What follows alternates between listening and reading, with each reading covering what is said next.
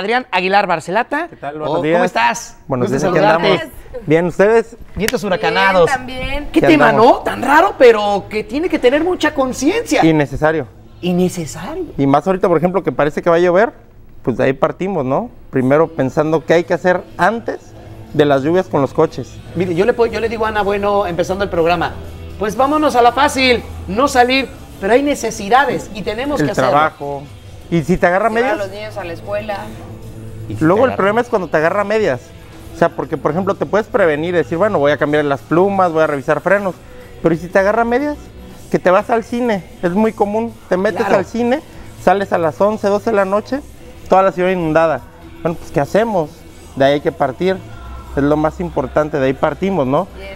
Lo importante es conservar la calma. O sea, ya estás, vamos a poner el escenario, ya se inundó la ciudad. Vas con tu coche, ves, el, ves la inundación, dices, ¿qué hago? Lo primero, buscar rutas alternativas, descartarlo, ¿no? Bueno, puedo pasar, no puedo pasar, no puedo pasar. No tengo otra alternativa más que atravesar ahí. Buscar la forma. Lo recomendable primero es pasar a una velocidad constante. O sea, por ejemplo, vamos a pasar un charco, algo inundado, pasar a velocidad constante, ni rápido ni lento, pero una velocidad constante. ¿Por qué? Si aceleramos y frenamos se van haciendo olitas. Entonces esas olitas le pueden entrar al coche. Ok. ¿Qué es el problema? Los coches hoy en día traen electrónica Nomás no poder. por arriba, por abajo, por adentro, por los lados, por todos lados. Entonces todo eso se daña y luego le puede entrar al motor y se desviela, ¿no? Entonces hay que evitar que entre agua. Ya. Vamos pasando. Se llega a parar el coche, no intenten darle marcha. Ahí déjenlo. Ah, no podemos. No, eh, no, no, no, no. Y eso es lo que normalmente como Es lo que hacemos. es la desesperación. La desesperación se apaga y ¿qué va? Marcha, marcha, marcha, marcha.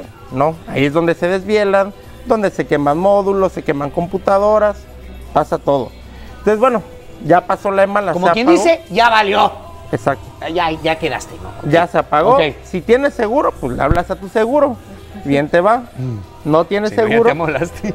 Sí, no tienes seguro, pues le hablas a tu mecánico de confianza. Oye, se quedó botado, no, pues espérate que se baje el agua. Y ya cuando se baja, ya se puede ver qué se hace. Ok, y para aquellas personas que a lo mejor, bueno, ya no les tocó a medias, ¿no? Gracias a Dios y que todavía están a tiempo de revisar su coche, pues, ¿qué es lo que deben de realmente? Porque para mí, pues, los limpia para Sí, lo primero, las plumas limpiaparabrisas, luces, los sistemas de frenos son vitales porque cuando está lloviendo, pues la, la distancia de frenado se puede incrementar un 40%. Entonces, es vital los frenos para evitar un accidente. Muy bien. Y, por ejemplo, ¿y cada cuánto debemos de checar los frenos? Porque a lo mejor lo hacemos cada, tem- cada época de lluvia. No, no, como. No, lo No, importante. Como buenos ser. mexicanos. como buenos ser. mexicanos, hasta que ya ¡ih! ahí va rechinando peor que camión. No, pues no. No, hay que hacerlo cada seis meses. Una Cada revisión seis al coche general cada seis meses. Y ya de ahí vamos a ver que vamos muy bien. Sí, para no entrar en la desesperación y que no nos vaya, pues, A pasar. a pasar, porque más o menos, por ejemplo, ya si de plano nos pasó de todo, ¿no? Que ese día no nos levantamos con el pie No, izquierdo, no. sino de rodillas.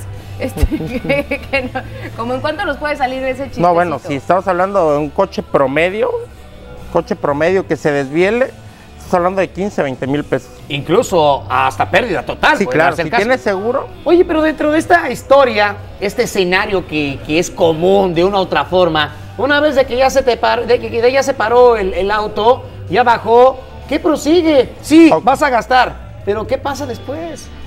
Mira, si el coche tiene electrónica básica, no te hablamos de un coche de alta gama, que la mayoría se van a pérdida total, porque realmente estás hablando que un coche de alta gama te trae más de 100 módulos en total, entre puertas y todo, No son más de 100 digas. módulos.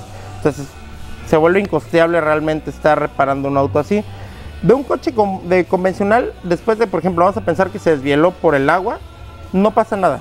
Bien reparado un motor, vuelve a quedar bien. como si nada. Se lavan bien alfombras, se lavan vestiduras y sin, como si nada.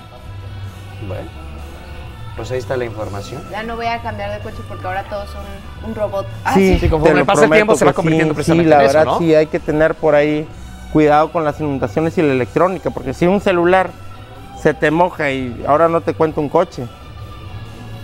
Bueno. Pues Sí. Muchísimas gracias, no, de qué estar estamos. El día de hoy aquí con nosotros y sobre todo pues cuiden su coche porque Sí, si no... y más ahorita con temporada de lluvias y que Así es. tantito llueve y se inunda la ciudad, pues es Sí, no, imposible. bueno, hay que tomar todas las precauciones del mundo. Y bueno, la más fácil, muy independientemente si te agarra, pues ya no tienes ni para dónde moverte. Pero si ves que se está cayendo el cielo, Intentar. no le muevas. Pero hay veces que es imposible. Entonces, claro. acuérdense, si están ya en medio de la inundación, pues a una velocidad constante y saliendo bombear sus frenos porque se cristalizan las balatas por el agua. Las balatas. Se cristalizan. Entonces, no queremos después, ya saliste, no se te, no te pasó nada al auto y chocas, ¿no? No, pues no. Entonces, saliendo del, del charco de la inundación, pues que le pisen dos, tres veces el freno para que vean que sí está frenando. Si no frena, pues como puedan se orillan y ahí lo dejan. Muy, Muy bien. bien. ¿Va? Pues bueno, a tomar precauciones, si no, pues una lancha, unos flotis o algo así. Adrián Aguilar Barcelata, muchísimas gracias. Aquí estamos. Te agradecemos mucho.